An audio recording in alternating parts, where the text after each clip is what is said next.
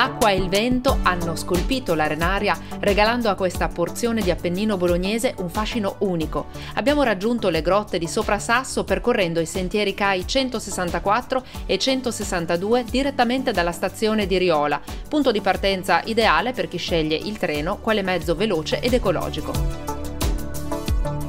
Non solo natura, la nostra escursione ci porterà a scoprire curiosi pezzettini di storia, sfiorando medievali borghi con case e torri e tracciati della linea gotica. Camminiamo sul sentiero ad anello lungo 11 km, facilmente percorribile con la riqualificazione operata dal Consorzio della Bonifica Renana grazie a un finanziamento del GAL dell'Appennino Bolognese. Il GAL dell'Appennino Bolognese ha finanziato, in alcuni casi cofinanziato, 18 interventi di riqualificazione della rete sentieristica locale per una spesa di oltre 1.800.000 euro. Questi interventi sono stati affidati per la loro esecuzione a soggetti pubblici locali quali le unioni dei comuni, gli enti parco o i consorsi di bonifica. In particolare col consorzio della bonifica renana abbiamo in corso di esecuzione eh, nove interventi per oltre un milione eh, di euro, tra i quali quello più significativo è sicuramente eh, quello relativo all'anello delle grotte di Soprasasso.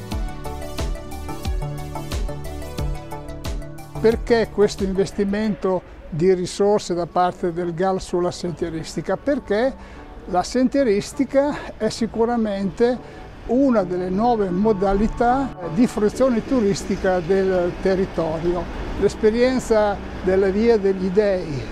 che lo scorso anno ha visto 20.000 visitatori da Bologna a Firenze e viceversa, coinvolgendo più di 150 operatori economici locali, lo testimonia come lo testimonia il fatto che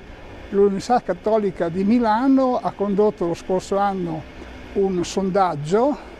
eh, sulle modalità di fruizione turistica del territorio e si è visto che il 54% dei potenziali viaggiatori è orientato a questa modalità esperienziale. E noi siamo convinti che appunto eh, il trekking, i cammini, il cicloturismo sia una modalità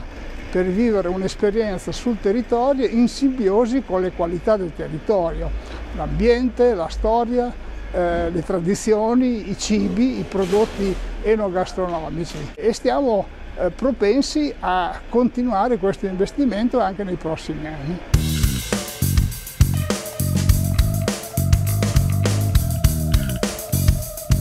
Le grotte di Soprasasso si sono formate all'interno di una formazione geologica delle arenarie di Anconella. Si tratta di arenarie che si sono originate circa 25 milioni di anni fa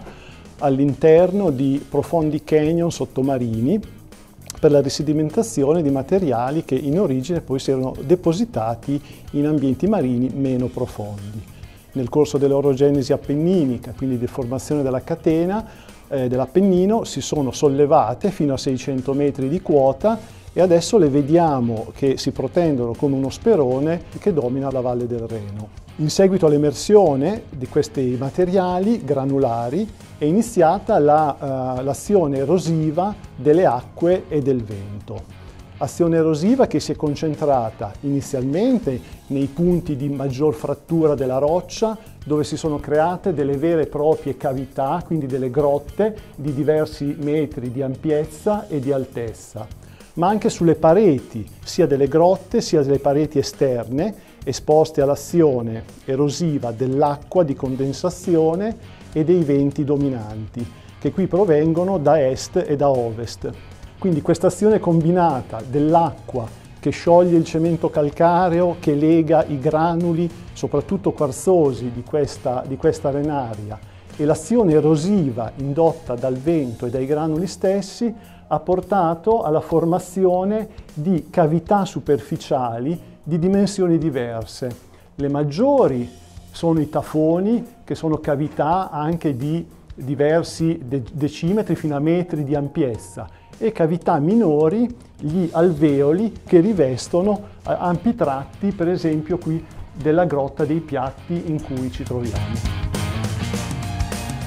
Il giro ad anello Riola sopra Sasso ci porta a respirare un po' di medioevo. Qui sono concentrati alcuni degli edifici più antichi dell'Appennino bolognese. Alle nostre spalle vediamo il nucleo delle case torri di Costonzo, uno dei più belli dell'Appennino che risale al XIII-XIV secolo. È importante perché oltre ad essere pregevole dal punto di vista architettonico e della sapienza dei maestri comacini che lasciarono tracce in questa zona della, del nostro Appennino passando dalle opere imponenti che facevano in Toscana verso quelle del loro territorio si fermavano durante l'inverno e qui hanno lasciato diciamo, segni nelle architravi, nelle diciamo, nelle strutture portanti di alcune di queste case torre. Eh, quella di Costonzo è particolarmente significativa perché fu la sede della prima scuola medica dell'Appennino. Dei tutti i cinque medici che nel Medioevo esercitavano in tutto l'Appennino bolognese,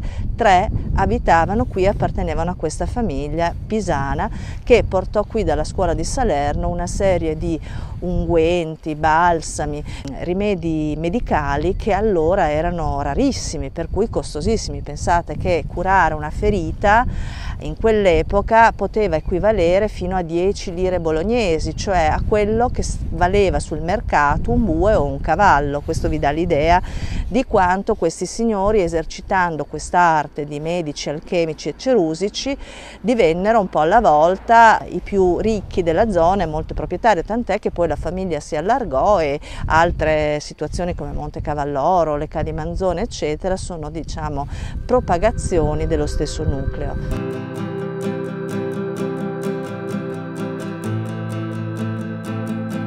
Questo è un punto difficile del sentiero perché dovevamo risolvere il problema del dislivello e anche consolidare nello stesso tempo la parete e la sponda eh, retrostante. Abbiamo così optato per una struttura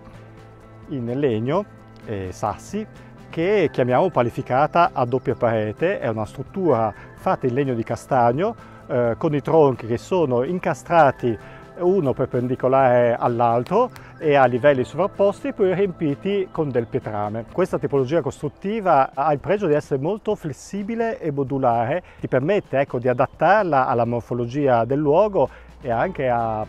perseguire gli scopi eh, necessari, come in questo caso la scala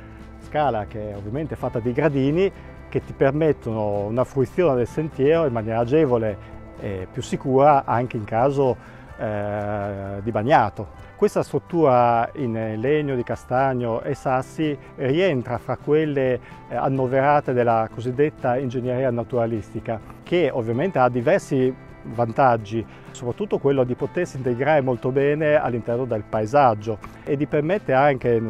nel futuro una manutenzione molto agevole e facile, bastano veramente pochi attrezzi eh, per mantenerla in efficienza e poi col tempo mh, la vegetazione comunque circostante aiuterà con il suo sviluppo eh, con le sue radici a consolidarla e a, diciamo, a compensare anche il fisiologico degrado del legno.